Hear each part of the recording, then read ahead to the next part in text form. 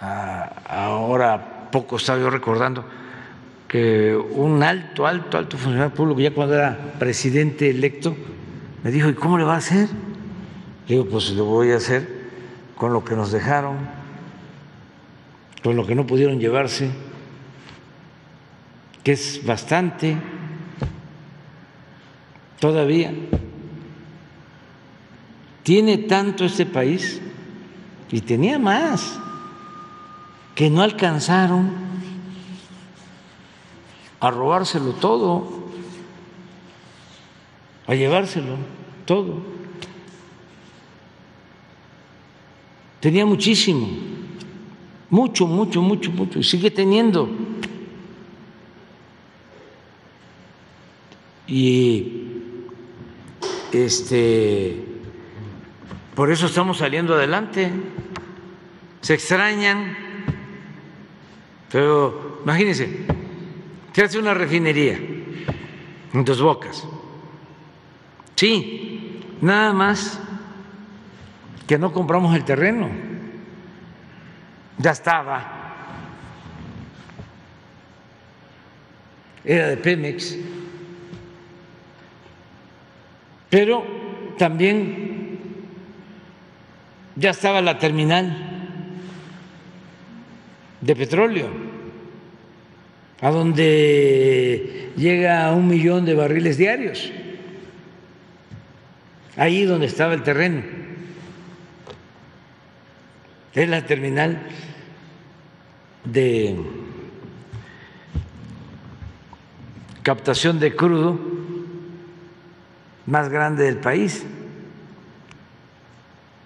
O sea, ahí la materia prima. Ah, pero ahí también un puerto. ¿Cómo eh, trasladamos todos los equipos para la refinería? Por barcos. ¿Dónde los bajamos? En el puerto. Ahí está enfrente de la refinería.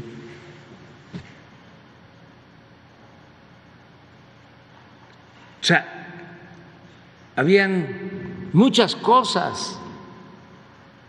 Claro, en el caso de las refinerías que heredamos, ya algunas ya habían empezado a vender las plantas.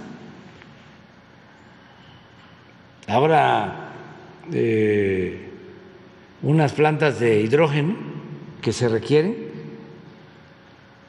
una en, creo, Madero o Salamanca y otra sin duda en Tula. Los estamos adquiriendo y aprovecho para decirle a los que se quedaron con esas plantas que las vendieron unos meses antes de que terminara el gobierno pasado. Dentro de las refinerías.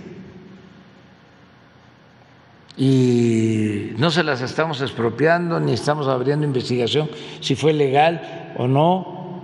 Les estamos diciendo, se hace un avalúo y se las compramos. Porque ya, esos negocios no. Entonces, así vamos saliendo adelante, ahora que evalué lo de las refinerías, de 38% de capacidad productiva, ya las tenemos en 65% y las vamos a llevar hasta el 90%, pero estamos invirtiendo, debemos de tener invertidos nada más en reparación de las seis plantas, 50 mil millones de pesos. Reparaciones mayores, menores, que no se hacían, porque el propósito era que se convirtieran en chatarra y comprar toda la gasolina en el extranjero.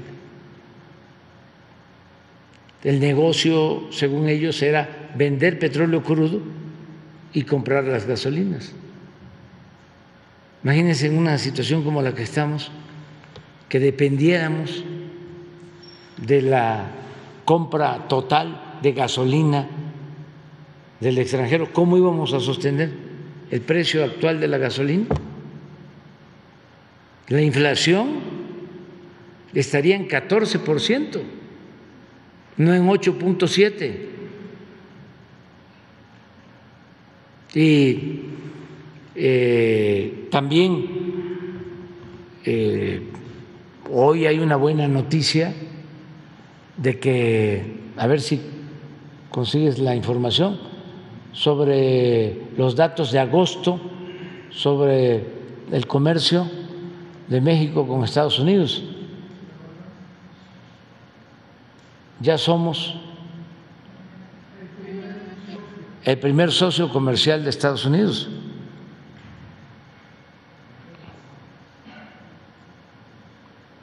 Eh, de acuerdo a los datos de, de agosto. Sí, aceptado esto por analistas de que la economía mexicana va muy bien y vamos a, a continuar con lo mismo.